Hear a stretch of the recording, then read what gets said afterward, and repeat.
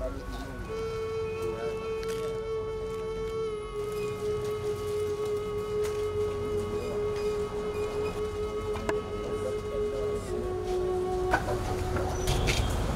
අද මෙතෙන්ට පැමිණියේ මේ ස්ථානය නිරීක්ෂණය කරලා බලන්න.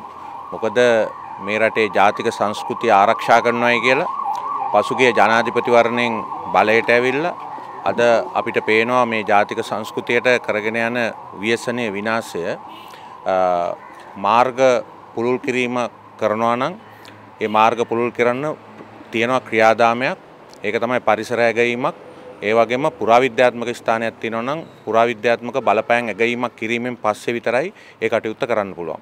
මේ ස්ථානය දෙවැනි බූනක බාහු රජතුමාගේ රාජසභා මණ්ඩපයේ තිබිච්ච ස්ථානයේ හැටියට පුරාවිද්‍යා කුමසාරිස් හඳුනාගෙන තියෙන ස්ථානයක්.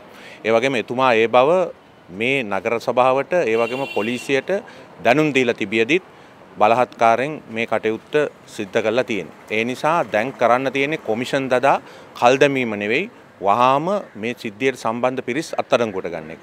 මෙතන අපි බොහොම පැහැදිලිව ප්‍රකාශ කරන්න ඕනේ මේ රටේ අද පුරාවිද්‍යා දෙපාර්තමේන්තුව තියෙන්නේ රටේ අගමැතිවරයා යටතේ. ඒ වගේම රටේ අගමැතිවරයා තමයි අද කුරුණෑගල ප්‍රධාන ඡන්දාපේක්ෂකයා. ඒ වගේම රටේ පොලිසිය තියෙන රටේ ජනාධිපතිතුමා එතකොට ජනාධිපතිතුමාට වගකීමක් තියෙනවා පොලිසිය ක්‍රියාත්මක කරන්න. එහෙම නැතුව මේ කොමිෂන් දදා බලා ඉන්න එක නෙවෙයි මේකට කරන්න ඕනේ. ඒ නිසා අපි බොහොම පැහැදිලිව කියනවා මේක පිටිපස්සේ තියෙන වෙන මොකක්වත් නෙවෙයි මේ මාර්ග පොලුල් කළ ජනතාවට සේවය කිරීම නෙවෙයි මේ ඉඩම්වල අනාගතයේදී ඒ අය විසින් කරන්න යන නොයෙක් ආකාරයේ හෝටල් ව්‍යාපෘති ආදියට අවශ්‍ය කරන බින් කඩවල් ටික සුද්ධ කර ගැනීම තමයි තියෙන්නේ. ඒකට මෙතන හිටියේ බුවනක බාහු රජතුමාද මෙතන තිබුණේ නැත්තම් පුරාණ විහාරස්ථානයක්ද පුරාවිද්‍යාව වැනි ජාතික ඉතිහාසගත කාරණා අදාළම නැහැ. මොකද මේ මහාමාර්ග දෙපාර්තමේන්තුව අයිති ජොන්ස්ටන් ෆර්නෑන්ඩෝ ඇමතිතුමාට. කවුරුත් දන්න ජොන්සන් ෆර්නෑන්ඩෝ ඇමතිතුමා පිටිපස්සේ ඉන්නේ නාමල් රාජපක්ෂ කියලා. එතකොට ඒ ඒ පිරිස් සියල්ලේම අනුමැතියෙන් සිද්ධ වෙච්ච දෙයක් මිසක් මේක මේ හුදු කුරුණෑගල නගරාධිපතිගේ කටයුත්තක් එහෙමනම් නෙවෙයි.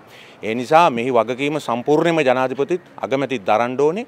ඔවුන් මේවා නීතිය රැහැනට ගේන්න පමා කරනවා කියන්නේ ඔවුන් මේ ජාතික අපරාධයේ හවුල්කරුවන් බව අපි බොහොම පැහැදිලිව ප්‍රකාශ කරනවා. මේකට පිළිතුරු දෙනකම්ම අපි මේ රටේ ජාතික සංස්කෘතියත් රටේ ඉතිහාසයත් ආරක්ෂා කර ගැනීමේ ක්‍රියාවලිය ඒ සටන අපි ඉදිරියට ගෙනියනවා.